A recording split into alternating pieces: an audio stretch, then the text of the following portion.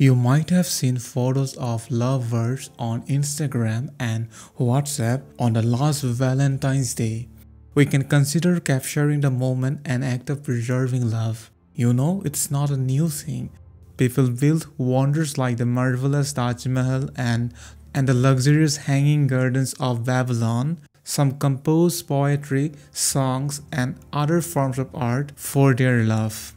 They even get tattoos of their loved one's name. Have you ever considered doing something similar? Not tattoo, but other way. The speaker in the sonnet, One Day I Wrote Her Name, also wants to preserve his love. Therefore, one day he writes his lover's name on the sand at the seashore. The waves come and wash it away. He writes her name for the second time and the tide comes and wipes it again. When his lover notices his attempt, she comments that it is fruitless. Just like her name, she stood there for a while. The speaker replies that nothing will happen to her. He declares insignificant things will decay into dust. None will remember them, but she will live forever.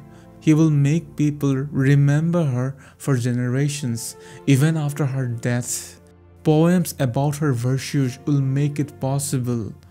His verse will write her glorious name in heaven. Their love will survive even if death destroys everything in the world. Through the power of poetry, they will surpass death. So, he has found a way to immortalize his love. But what about you? Therefore, Sonnet 75 or One Day I Wrote Her Name is about the transience of life and man's desire to achieve immortality. I have discussed the theme in the blog post. This theme is similar to one of Shakespeare's famous sonnets, Sonnet 18. If you are interested in exploring this further, you can watch this video